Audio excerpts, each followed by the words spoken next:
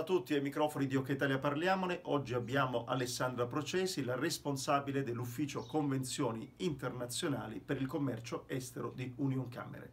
Le chiusure e le limitazioni che sono state imposte in Italia, come d'altronde in tutti i paesi del mondo, mettono molte imprese in crisi nell'adempimento di forniture e servizi già contrattualizzati. Diventa quindi prioritario per il nostro Paese il riconoscimento dell'emergenza Covid e delle connesse misure di urgenza adottate per contenerla come causa di forza maggiore. Il Ministero dello Sviluppo Economico ha diramato ad Union Camere, alle Camere di Commercio, alle associazioni di categoria imprenditoriale una circolare sulla possibilità per tutte le Camere di Commercio di rilasciare alle imprese una dichiarazione sullo stato di emergenza conseguente all'epidemia Covid-19 e sulle restrizioni imposte dalla legge per il contenimento dell'epidemia stessa. Queste dichiarazioni saranno rese e rilasciate in lingua inglese e con riferimento ai contratti con controparti estere, affinché le nostre imprese possano esibirle a queste ultime per giustificare l'impossibilità di assolvere nei tempi agli obblighi contrattuali già assunti per motivi imprevedibili e indipendenti dalla volontà e capacità aziendale. Le clausole presenti in molti contratti di fornitura con l'estero comportano infatti la necessità di produrre tali attestazioni per poter invocare la forza maggiore. Chiarisce benissimo questo concetto ai nostri microfoni Alessandra Procesi. Vediamo il contributo.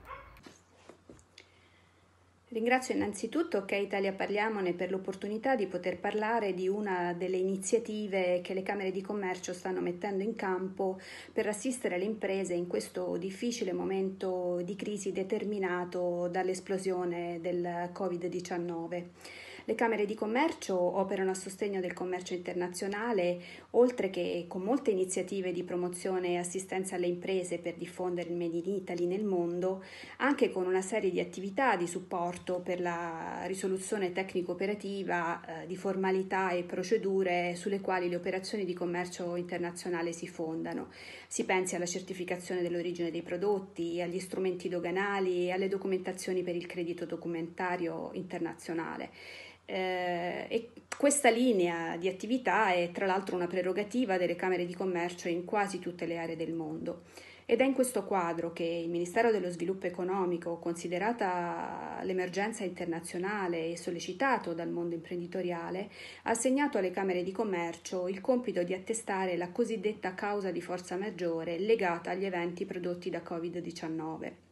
Lo scopo è ovviamente quello di tutelare in questo modo le imprese alle quali oggi le misure restrittive di contenimento dell'epidemia hanno imposto ostacoli nella realizzazione dell'attività ordinaria imprenditoriale e eh, nella produzione, tanto da non consentire in molti casi di rispettare i contratti di fornitura ai clienti esteri con ritardi e inadempienze nelle commesse internazionali. L'obiettivo di questa misura è quello di contenere il più possibile l'ipotesi di danni alle imprese nazionali che in questo momento si trovano nella condizione di subire la risoluzione dei contratti per inadempienze non imputabili alla propria volontà, con pagamento anche di possibili penali o mancato rientro dei costi sostenuti per attività già realizzate.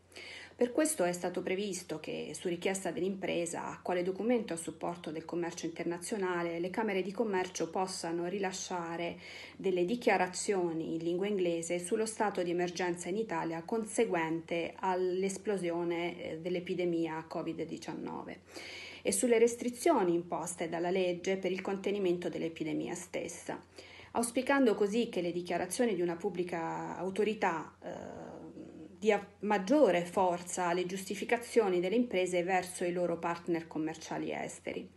Cosa devono fare le imprese interessate?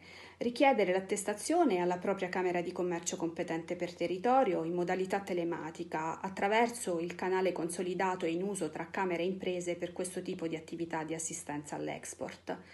Contestualmente devono rendere una propria dichiarazione che in conseguenza delle restrizioni disposte dalle autorità di governo e allo stato di emergenza in atto, l'impresa non ha potuto assolvere nei tempi agli obblighi contrattuali precedentemente assunti per motivi imprevedibili e indipendenti dalla volontà e capacità aziendale. Le dichiarazioni in lingua inglese verranno poi rilasciate all'impresa in modalità telematica per essere poi diffuse ai propri partner commerciali. Dando poi uno sguardo fuori dal confine, vediamo che le misure in questione eh, sono state già eh, prese ed avviate in Cina all'inizio di marzo, con un rilascio di oltre 6.000 certificati di forza maggiore a società colpite dagli effetti del Covid-19. Ed anche in Cina il ruolo del certificato emesso dall'organismo nazionale cinese si limita a fornire prove del verificarsi di un evento eccezionale quale elemento utile all'analisi complessiva della forza maggiore. E analogamente si stanno muovendo anche le Camere di Commercio europee, con le quali abbiamo avuto specifici momenti di coordinamento affinché una soluzione comune potesse garantire parità di condizioni competitive a tutte le imprese del mondo che hanno subito questa battuta di arresto e che continueranno a subirla nei prossimi giorni eh, in conseguenza degli effetti della pandemia. Eh, certo è che eh, l'efficacia di queste attestazioni nella relazione del rapporto contrattuale privato tra le parti saranno poi tutte da eh, verificare eh, nel prossimo futuro, ma ci attendiamo che eh, in relazione alla diffusione del fenomeno e della pandemia esse possano trovare una corretta accettazione da parte di tutti gli Stati. Grazie. Ringrazio Alessandra Procesi, ricordo responsabile ufficio convenzioni internazionali per il commercio estero di Union Cameri per il suo prezioso contributo che sicuramente aiuterà tante imprese italiane. Grazie e arrivederci al prossimo contributo.